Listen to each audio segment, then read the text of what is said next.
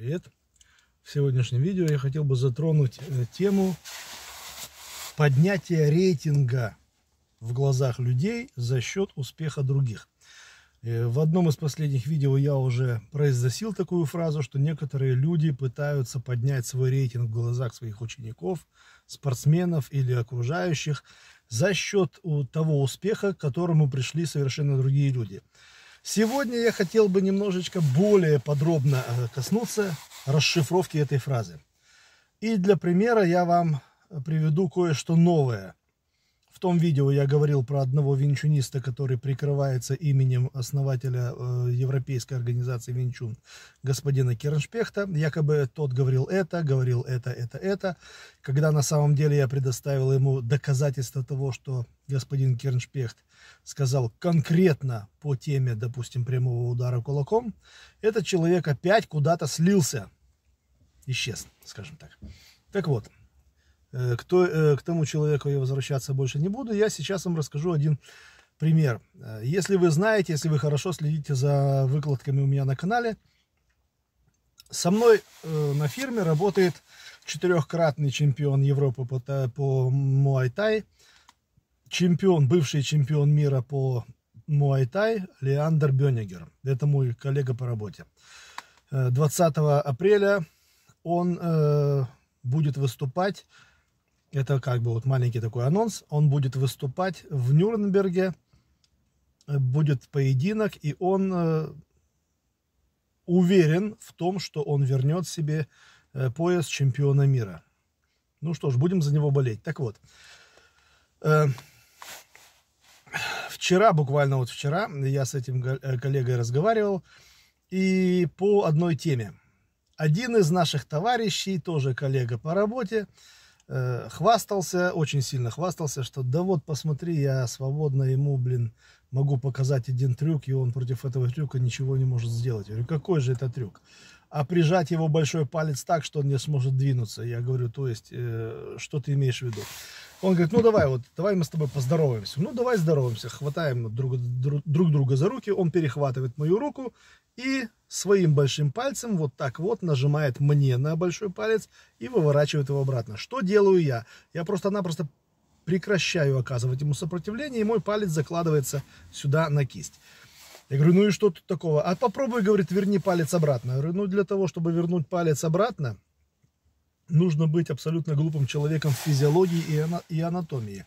Потому что наружные мышцы на руках, на пальцах, они довольно тонкие и очень слабые. Вся их работа, вся их функциональность сводится к тому, чтобы разгибать кисть руки, но не сжимать. Сжимают вот у нас внутренние мышцы. Но так как эти мышцы у нас, я уже сказал, сильны только вместе, поодиночке не слабые, то, естественно, оказанное давление большой палец противовес оказать уже не может.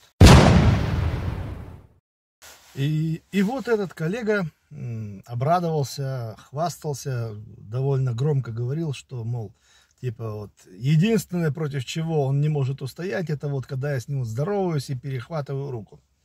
Думаю, ну ладно, бог с тобой, подумаешь. И я спросил потом этого Лео, мы вышли на кухню э, взять себе кофе, я его спрашиваю, послушай, говорю, хочешь я тебе покажу э, как бы не контратаку, а противовес тому трюку, который он проводил с твоим пальцем. Но Лео мне говорит, ты знаешь, мне в принципе, говорит, все равно. Мне доказывать никому ничего не надо, я уже давным-давно все доказал на ринге. А те люди, которые пытаются доказать мне, что они хоть в чем-то сильнее меня, ну, ради бога, пусть пытаются доказать. В общем, я показал ему, я этому Лео показал, как э, просто-напросто освободить свою ладонь из этого захвата. Нет, под захватом, под давлением большой палец остается, но вы разжимаете свою ладонь и перехватываете вашего противника за кисть, за его большой палец и выворачиваете ему обратно. И вот Лео, когда посмотрел это, он говорит, ну, действительно, этого я, говорит, действительно не знал. Но в следующий раз, если вдруг у нас дойдет до вот этих вот шутейных разборок, я ему это продемонстрирую. A few moments later. Довольно часто, особенно в последний год, стали появляться э, действительно люди на канале, у меня на канале в частности, оставляющие комментарии под различными видео и пишущие о том, что да я бывший КМС по боксу, да я бывший КМС по самбо, да я бывший то, бывший все. Э, вы знаете, я буквально вот на днях встречался с одним товарищем э, из Казахстана, и вот он, когда я ему вот это вот сказал, вот эту вот историю, типа бывший КМС по боксу пытался мне доказать, что э, я что-то не так делаю, какую-то там тренировку или, допустим, то упражнение. И он мне сразу сказал, как это бывший, бывших не бывает, ты или есть, или тебя нет. Я говорю, в том-то и дело. Э, когда люди пытаются, опять же, привлечь к себе внимание – они, ну, как интернет, как бумага, он терпит все. Там в интернете можно ляпнуть все, что угодно. Как раньше была передача ОСП студия, и там как-то, там был э, маленький такой вот сериальчик 33 квадратных метра. И там как-то, по-моему, дед сказал классную фразу. Пять минут позора, обеспеченная старость. Так вот эти вот люди, которые пытаются позориться в интернете, считают, что э, пускай оно себя опозорит, но оно привлечет к себе внимание того человека, к которому он обратился. Вы знаете, я стараюсь у себя на канале людям отвечать в их манере общения. Если, к примеру, мне кто-то говорит, э, что я неправильно делаю жим штанги лежа, мол, типа, я не так ставлю, выдвигаю руки, я не так. Ну, хорошо, я просто написал одному человеку, хорошо, я учту это на будущее, спасибо. Тут же появился другой человек, который заткнул вот этого вот человека, автора этого комментария, тем, что, дорогуша, говорит, это так, как ты говоришь, делают только пауэрлифтеры и качки для того, чтобы нагнать э, объем в мышцах, но не более того. А само упражнение делается именно так, как показано на экране. Тот человек сказал уже более-менее, если бы это я сказал, он бы начал со мной спорить. Но когда появился другой комментатор и высказал свою точку зрения противную от той, которую высказывал первый комментатор, он э, сказал, что ну нам так тренер говорил, я-то я-то не знаю, нам тренер так говорил. То есть, когда людям кто-то что-то говорит, или они сами придумывают какую-то ерунду и говорят, э, что это стопроцентная правда и это нужно принимать безоговорочно э, за истину, они считают, что они в этом правы. Но когда не ты, как автор канала, как э, автор э, видеоролика, вступаешь с ними в спор, а вступает э, такой же, как они, человек, действительно знающий эту тему, они начинают сдавать на попятную. Так же, как вот опять я возвращаюсь к этому человеку из Хальброна, э, винчунисту, который когда-то пытался вызвать меня на поединок, устроить со мной спарринг и доказать мне, что винчун это круто, а карате это ничто. Когда я предложил ему, ну хорошо, давай смотри, у меня тренировки проходят каждый вторник, каждый четверг с половины седьмого до восьми вечера. Говори, в какой день ты можешь приехать. Я в этот день отменяю тренировку, предоставляю зал для тебя. Ты разминаешься, потом мы с тобой проводим спарринг, записываем его на обе камеры, с твоей стороны, с моей стороны. Ты э, дерешься со мной по правилам Винчун, я дерусь с тобой по правилам карате, кюкушинкай или годзюрю, как мне будет угодно. И потом мы э, а закончим наш спор по теме прямого удара кулаком. Этот человек тогда понял, он ну, испугался, просто испугался, по-другому это никак не назовешь. Он, он испугался так, что он два года вообще не появлялся в интернете, на канале, у себя на канале, даже ничего не выкладывал. А теперь он вдруг опять появился и начал мне доказывать все то же самое старое, что когда-то 6 лет назад, 7 лет назад э, мне пытался доказать, что я э, лох педальный и не знаю, как, э, допустим, бить прямой удар кулаком. И когда он сказал, опять же я обращаюсь к своему старому видео, с ответом э, основателя европейской организации Винчун, когда он сказал, что да вот приведите мне, блин, пример, приведите мне ответ Керншпехта, где он говорит, что руку разжимать до конца нельзя, тогда я э, э перестану называть вас дебилами, идиотами и дураками. В тот же вечер я просто-напросто взял и написал основателю этой вот ЕВТО вопрос, как нужно правильно бить. И он мне дал ответ по четырем пунктам.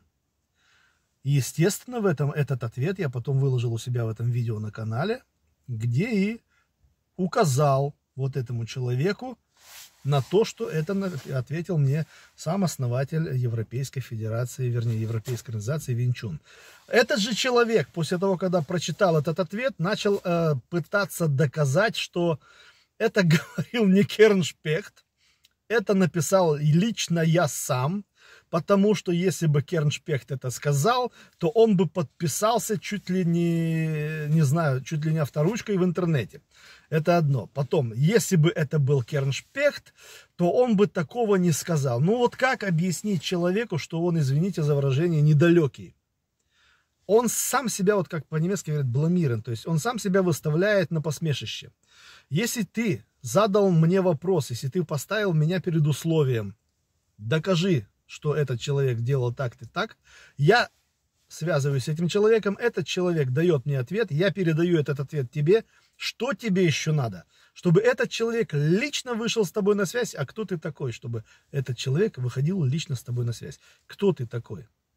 Вот у меня просто вопрос. Опять-таки, это человек, который, вот тот, который рыпался против меня и против других, обзывая нас идиотами, дебилами, дураками. Этот человек просто-напросто в жизни в своей не добился ничего. Но за счет э, громкого имени э, других людей с мировым именем, за счет успеха других людей, которые действительно построили себе э, не только спортивную карьеру, но и трудовую карьеру, он пытается подняться в первую очередь э, Э, в своем самосознании поднять свое эго, а потом уже доказать своим, там, допустим, подписчикам, что вот какой он крутой, он втоптал в грязь, допустим, международный бранч по карате, задав ему такой-то вопрос, а этот бранч слился. Я никуда не сливался, я сделал, как, как он и просил, но получилось, что слился вот этот человек. И я просто-напросто не хочу тысячу раз повторяться. Э, я сейчас просто закончу уже вот это видео э, снимать. Я, ну да, получилось немножко долго. Но это такая тема, нудная, нудная тема. И мне некоторые люди, которые со мной встречаются, э, говорят, что перестань обращать внимание на таких идиотов. Я не спорю. Я не спорю. Во-первых, ну, я не могу назвать этого человека идиотом, потому что хоть э, как-то он чем-то он занимается, да. Но то, как он себя ведет, да, действительно, это не отдает, не дает ему э, плюса, э, не показывает его культурного развития, ну и, естественно, не дает ему права называть других людей баранами, идиотами или дебилами только потому, что этот человек сам не хочет верить в то, что ему говорят. А когда ему говорят правду, его это просто начинает бесить. Вот и все. В общем, ребята, такое вот получилось видео. Вы уж не обессудьте. Многие люди, которые встречали меня лично, которые со мной э, знакомы и подписаны на мой канал, они могут вам подтвердить, что я не обманываю вас. Я вот я говорю правду. И буквально, буквально сегодня два человека, один из Казахстана, другой из Украины. Э, сегодня буквально вот мы с ними познакомились. Эти люди подписали, ну, спросил, сидят ли они на ютубе, не хотели бы они подписаться на канал. Сегодня они подписались на мой канал. И вот если что, если они вдруг появятся под этим видео, ребята, у меня к вам просьба, просто-напросто. Э, выскажите вашу точку зрения. Действительно ли я лох педальный, как вот этот вот человек утверждал? Или, э, ну не знаю, вот просто кто я на ваш взгляд? Ладно, а всем остальным не забудьте подписаться на этот канал, поделиться видео с друзьями, оставить лайк, свой адекватный комментарий. Можете задавать вопросы. Как говорится, задавать вопросы можно какие угодно на любую тему, но это не значит, что вы получите на все эти вопросы ответы. Всем удачи, пока.